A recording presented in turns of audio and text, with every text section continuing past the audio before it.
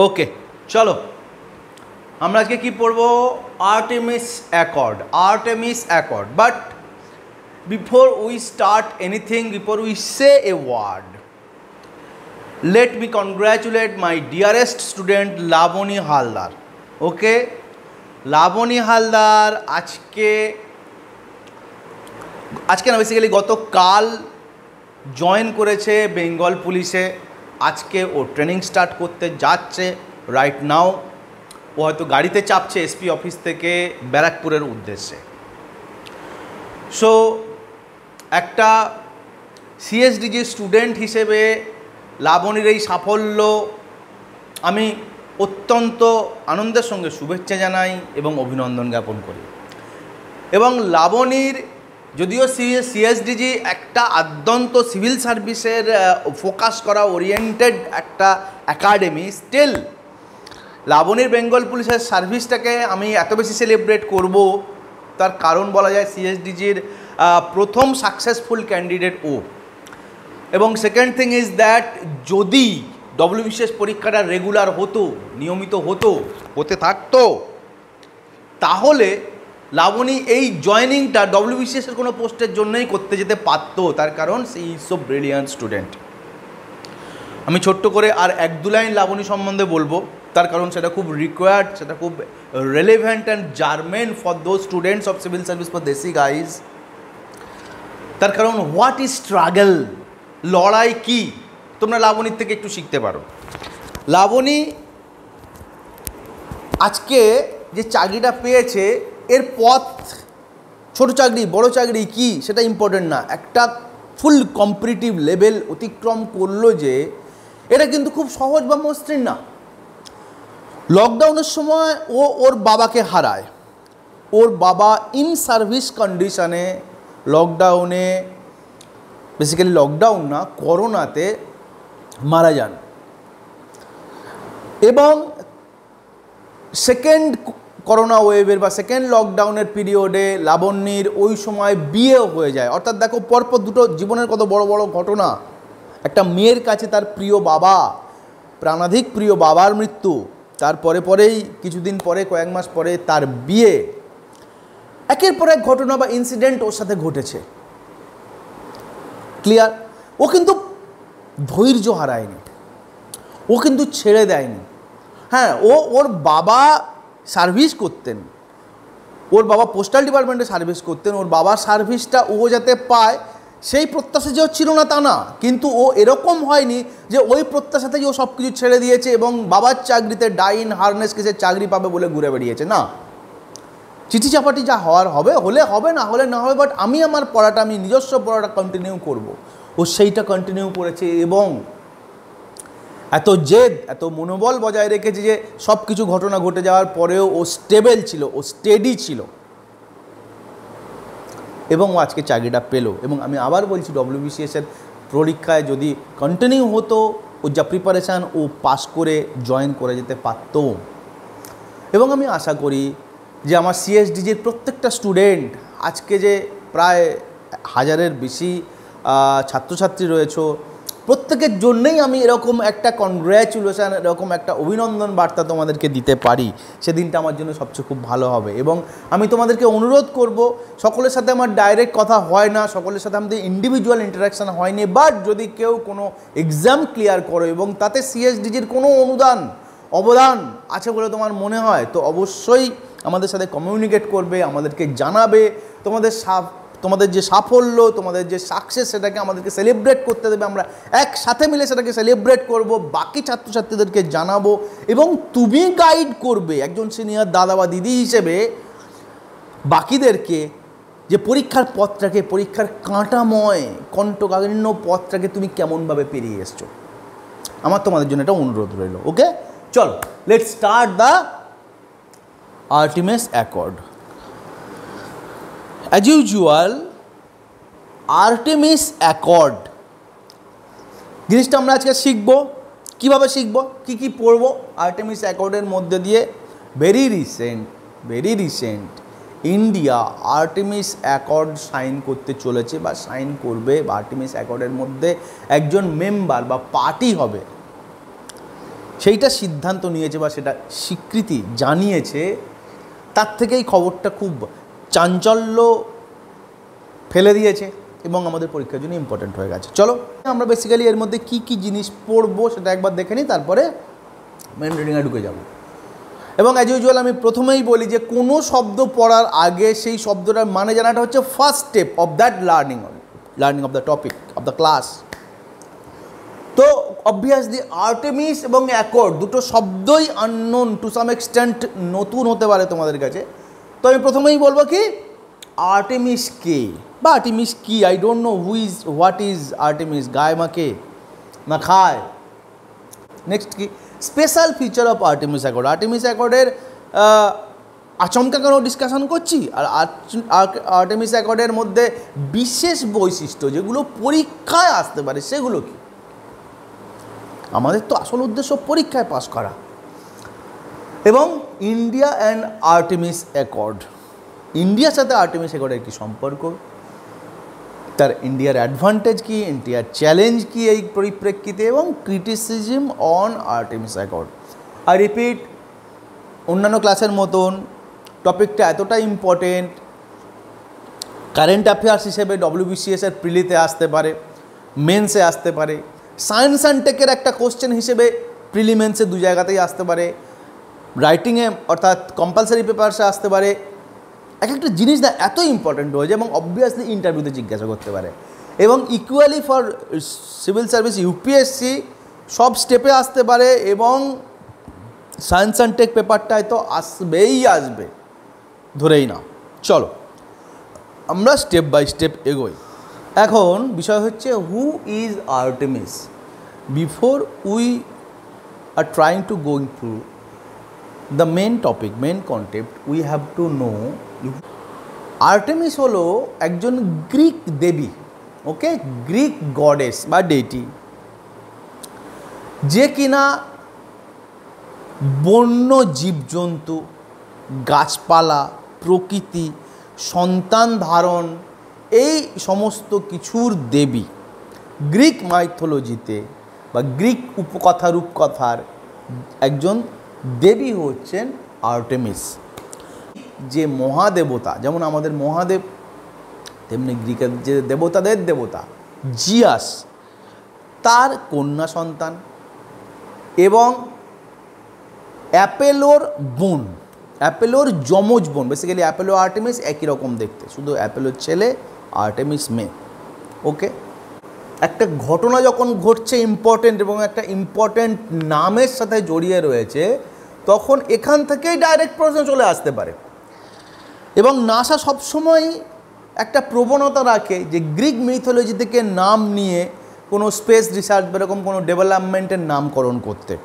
যেমন Apollo Apollo তো অনেকগুলো মিশন করেছে। So the first MCQ of the class তোমরা এর উত্তর কমেন্ট সেকশানে জানাবে যে অ্যাপেলো অ্যাপেলোর কোন মিশনে?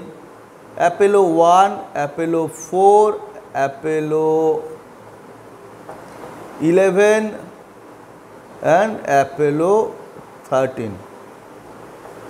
অ্যাপেলোর কোন মিশনে পৃথিবী থেকে মানুষ চাঁদে গেছিল? Okay? So the first question of this class is Apollo one, Apollo four, Apollo eleven and Apollo thirteen চারটে অপশান রয়েছে। কোন অ্যাপেলো মিশনের মাধ্যমে মানুষ প্রথম চাঁদে পা রেখেছিল? Okay this is the question so equally আর্টেমিসের প্রশ্ন চলে আসতে পারে। এরকমভাবেই আর্টেমিসের নাম নিয়ে আর্টিমিস কোথাকার দেবী নিয়ে, ইত্যাদি ছোট ছোট প্রশ্ন জিকের কোনো মাথামুন্ডু নেই, যে কোনোভাবে চলে আসতে পারে। ওকে সো অ্যাকর্ড অ্যাকর্ড মানে কি? অ্যাকর্ড মানে হচ্ছে সোজা কথায় চুক্তি। কি বললাম? চুক্তি, যেমন এগ্রিমেন্ট ফিচার বৈশিষ্ট্য এবং অন্যান্য ছোট ছোট ক্রাইটেরিয়ার ওপর ডিপেন্ড করে কোথাও আমরা এগ্রিমেন্ট সাইন করি, কোথাও ট্রিটি সাইন করি, কোথাও কনভেনশন সাইন করি, কোথাও অ্যাকর্ড সাইন করি। শুধু অলমোস্ট মানে সবগুলোর এক, ওগুলোর নেচারের ওপর ডিপেন্ড করে ওগুলোর নামগুলো আলাদা হয়। But the main content is চুক্তি। আমাকে আর একটা প্রশ্নের উত্তর তোমরা দেবে। আমি চারটে ইন্টারন্যাশনাল ট্রিটি বা অ্যাকর্ড বা এগ্রিমেন্টের নাম এখানে বলছি। তোমরা বলবে অপশানগুলো দেখে যে কোন অপশানটা ঠিক। Okay Washington accord Kigali agreement কারটা Cartagena protocol কার্টা C A R T A G N A Cartagena protocol and Rio summit Rio summit চারটে অপশান কোশ্চেন হচ্ছে of the four agreements and treaty of which India is a part or signatory অর্থাৎ চারটের মধ্যে India কিসে অংশ নিয়েছে বা কিসে পার্টিসিপেট করেছে বা কিসে সিগনেচার করেছে? Option A one only option B one and two only option C one two three only and option D all of the above okay তোমরা উত্তর দেখবে, আমাকে কমেন্ট সেকশানে জানাবে এবং অবভিয়াসলি উত্তরগুলো দেখার সাথে সাথে এগুলো যে কি, কিসের জন্য এই এগ্রিমেন্টগুলো হয়েছে, সেগুলোও পড়ে নেবে। পরীক্ষার সময় যে কোনোভাবে চলে আসতে পারে। ওকে আউটার স্পেস ট্রিটি কি? আউটার স্পেস স্পেসের বাইরের যে অংশ, বহির জগৎ, বহির বিশ্ব outer space treaty nineteen sixty সেভেনে একটা অলমোস্ট একশো দশটা বা হান্ড্রেডের কাছাকাছি ইন্টারন্যাশনালি সভরেন কান্ট্রিদের মিলিত একটা চুক্তি। উনিশশো সাতষট্টি সালে, ওকে কোল্ড ওয়ারের আগে সেকেন্ড ওয়ার্ল্ড ওয়ারের পরে পরে, কিছুদিন পরে আউটার স্পেস ট্রিটি সই হয়। Weapons for mass destruction outer স্পেসে নিয়ে যাওয়া যাবে না। অর্থাৎ বহির্বিশ্বে মহাবিশ্বে ওয়েপন্স ফর মাস ডিস্ট্রাকশান অর্থাৎ একদম নির্মূল করে দেবে জনগণ এরকম যে কোনো অস্ত্র ব্যবহার করার জন্যে বহির্বিশ্ব বা আউটার স্পেসকে ইউজ করা যাবে না। এবং no military activity in any celestial body কোনো মহাজাগতিক যে বস্তু কোনো নক্ষত্র, কোনো গ্রহ, কোনো উপগ্রহ, কোনো অনুগ্রহ, ঠিক আছে? এই সমস্ত যে জিনিসগুলো, এগুলোকে ব্যবহার করতে পারবে না মিলিটারি অ্যাক্টিভিটির জন্য। তাহলে দুটো খুব ইম্পর্টেন্ট দেখো কোল্ড ওয়ার একটা একটা একটা ভীষণ ওয়ার্ল্ডকে পোলারাইজ করে দিয়েছিল সেই সময় একটা ভয়ঙ্কর ঘটনা। বাট এইটা যদি সেই সময় না হতো, তাহলে আরও করো কত বড় দুর্ঘটনা ঘটে যেতে পারতো সকলে চাঁদে চলে যেত। সকলে অন্যান্য জায়গায় চলে যেত।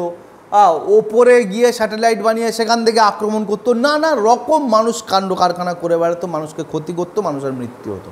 বাট সেগুলো আটকে যায় কীভাবে? উনিশশো সাতষট্টিতে আউটার স্পেস ট্রিটির মাধ্যমে যেখানটায় মেনলি দুটো পয়েন্ট বলা হয়েছে। No weapons for mass destruction in outer space and second is that no celestial body can be used for military activity এই চুক্তিটার উপর বেশ করে দু হাজার কুড়ি সালে আমরা এখন কি পড়ব? আমরা এখন পড়ব আর্টেমিস অ্যাকর্ড এই চুক্তিটা উনিশশো সাতষট্টি সালের ওপর, চুক্তির ওপর বেশ করে দু হাজার কুড়ি সালে নাসা একটা অ্যাকর্ড নিয়ে আসে, একটা চুক্তি করে। সমস্ত বা যে কোনো দেশ সেই চুক্তিটাতে সামিল হতে পারে। যে লুনার অরবিটে লুনার অরবিটে স্পেস রিসার্চ হবে লুনার অরবিটে রিসার্চ চালানো হবে এবং সেটায় সমস্ত কান্ট্রি বা ইন্টারন্যাশনালি সাপোর্টের মাধ্যমে যে কোনো দেশ এগিয়ে আসতে পারবে, যে কোনো দেশ তার স্পেস রিসার্চের পার্ট হিসেবে অংশগ্রহণ করতে পারবে এবং সকলে মিলে শান্তিপূর্ণভাবে কিছু নির্দিষ্ট গাইডলাইন্স এবং প্রিন্সিপিল ফলো করে আমরা গুড অ্যান্ড ওয়েল প্র্যাকটিসের মাধ্যমে আমরা ইন্টারন্যাশনাল রিসার্চটাকে নিয়ে যাব মানুষের উন্নতির লক্ষ্যে। This is the main theme of Artemis Accord which was established in two thousand ভারতের প্রধানমন্ত্রী শ্রী নরেন্দ্র মোদী গিয়েছেন আমেরিকায়। তার আমেরিকা ভিজিটের সময় চলাকালীন তিনি বলেছেন যে ইন্ডিয়া আর্টেমিস অ্যাকর্ডের একজন সিগনেটারি হতে রাজি। অর্থাৎ ISRO Indian space research organisation and NASA MCQ number three MCQ number three what is full form of NASA নাসার ফুল ফর্ম কি? কমেন্ট সেকশানে জানাবে। ওকে সো ইন্ডিয়ার ইসরো অ্যান্ড নাসা একসাথে স্পেস রিসার্চের পার্টিসিপেট করবে জয়েন্টলি এই কথা বলার পরেই আর্টিমিস অ্যাকর্ডটা এত প্রাসঙ্গিক হয়ে গেছে এবং কারেন্ট অ্যাফেয়ার্সের একটা চর্চিত টপিক হয়ে গেছে। ক্লিয়ার এইটা হলো রিসেন্ট ডেভেলপমেন্ট বা very recent development okay so what is the special feature of Artemis accord first হচ্ছে ইন্ডিয়া জয়েন করছে। সেকেন্ড হচ্ছে দু হাজার চব্বিশ সালে আর্টেমিস অ্যাকর্ড ঠিক করেছে। আর্টিস অ্যাকর্ডের মাধ্যমে দু হাজার চব্বিশ সালে ঠিক হয়েছে। বাই টু চাঁদে মানুষ পাঠানো হবে। চাঁদে মানুষ আগে গেছে, এর মধ্যে নতুন কি, নতুন হচ্ছে যে চাঁদে এবারে কোনো মহিলা পাঠানো হবে। এরকম নয় যে কেবল পুরুষ অ্যাস্ট্রোনট যাবে, কোনো মহিলাকে পাঠানো হবে। ফার্স্ট সেকেন্ড কি, কোনো কালার্ড হিউম্যান পাঠানো হবে। মানে বিজ্ঞানীরা ইউরোপিয়ান বা আমেরিকান বিজ্ঞানীরা সাধারণত শ্বেত চামড়ার ফর্সা রঙের হয়ে থাকে। কিন্তু ধরা যাক আমেরিকান ব্ল্যাক আমেরিকান বা আফ্রিকান যারা কালো চামড়া, তাদেরকে বলা হয় কালার্ড হিউম্যান। কোনো কালার্ড হিউম্যানকেও নিয়ে যাওয়া হবে চাঁদে। থার্ড স্পেশালিটি কি? থার্ড স্পেশালিটি হচ্ছে this is the first time African কোনো নেশান আর্টেমিস অ্যাকর্ডে যুক্ত হচ্ছে। ক্লিয়ার? তাহলে কোন কোন কান্ট্রি যুক্ত হচ্ছে? নাইজেরিয়া এবং রোয়ান্ডা। খুব খুব খুব ইম্পর্টেন্ট পরীক্ষায় যে কীভাবে চলে আসতে পারবে আর্টেমিস অ্যাকর্ডের এই স্পেশাল ফিচারগুলো তুমি ধরতেই পারবে না যদি না তুমি এই ভিডিওটা বা ভালো করে জিনিসটা পড়ো বা দেখো। ওকে সো তিনটে বৈশিষ্ট্য আমি তোমাদেরকে বললাম। এবং আমাদের কাছে ইম্পর্টেন্ট যে ইসরো এবং নাসা জয়েন্টলি কাজ করবে। নাও এখন আসেন আর্টেমিস অ্যাকর্ডে যুক্ত হওয়াটা ইন্ডিয়ার জন্য কি খুব উপকারী হলো? না ক্ষতিকর হয়ে গেল। কেননা after all Artemis accord is established and run and administered by NASA ISRO সেখানে কাজ করবে সেটা কীভাবে হবে?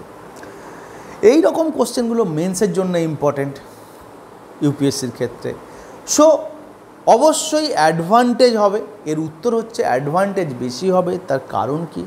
তার কারণ হলো যে এরকম বড় জড় ধরনের প্রোগ্রামে যেখানটায় হিউজ ইনভেস্টমেন্ট লাগে, অনেক রকম টেকনোলজিক্যাল ইমপ্লিকেশান রয়েছে, সেখানটায় সবসময় ইন্টারন্যাশনালি কোনো কোঅপারেশান হলে সেটা বেটার হয়। ফান্ড রেজিংয়ের কাজে বেটার হয়, সেখানটায় ডেভেলপমেন্টটা করতে সুবিধে হয় এবং ক্ষতি হলে সেটাও ভাগ ভাগ হয়ে যায়।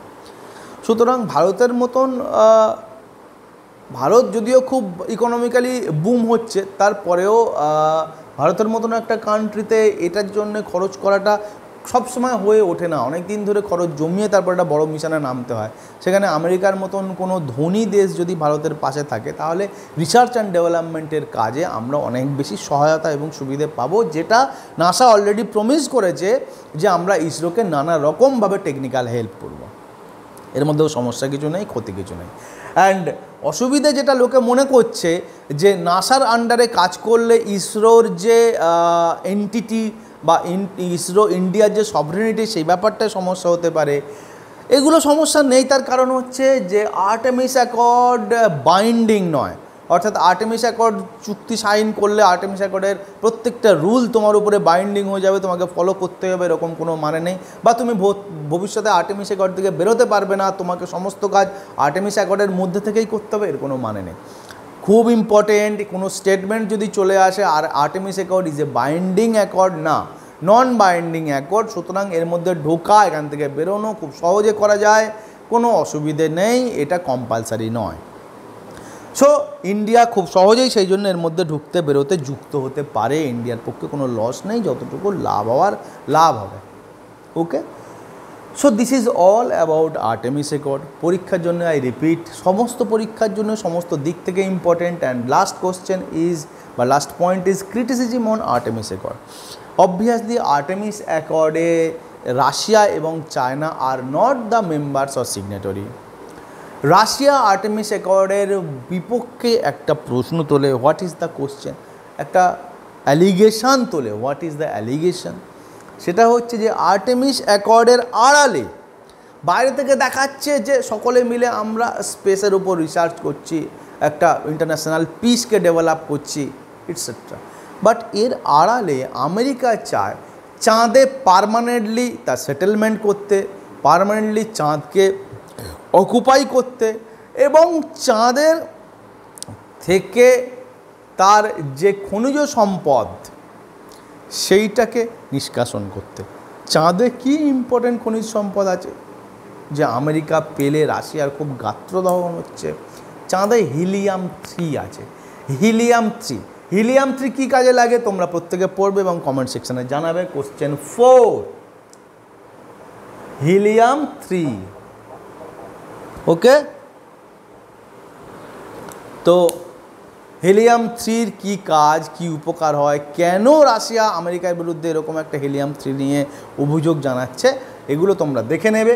বাট আসল অভিযোগটা এই যে আমেরিকা এই কাজটা করবে বলেই চাঁদে যাচ্ছে এবং চাঁদে এত দীর্ঘস্থায়ী, এত বড় টিম নিয়ে চাঁদে অবতরণ করছে। এই অভিযোগ রাশিয়া আমেরিকার বিরুদ্ধে করছে। ওকে চলো this is all about the class এবং আমি আবার বলছি যে লাবণীর জন্যে খুব অভিনন্দন আমাদের তরফ থেকে রইল এবং তোমরা যারা যখনই কোনো পরীক্ষায় পাস করবে ইন্টারভিউ দেবে বা জয়েন করবে, যে কোনো স্টেটেই তোমাদের কোনো প্রিলিমিনারি বা ইন্টারমিডিয়েটরি সাকসেসেই আমাদেরকে খবর দিও। আমরা যাতে সেটা সকলের সাথে সেলিব্রেট করি এবং তোমরা পথ দেখাও তোমাদের রাস্তায়, আমাদের রাস্তায় যারা নতুন হাঁটছে। Okay all the best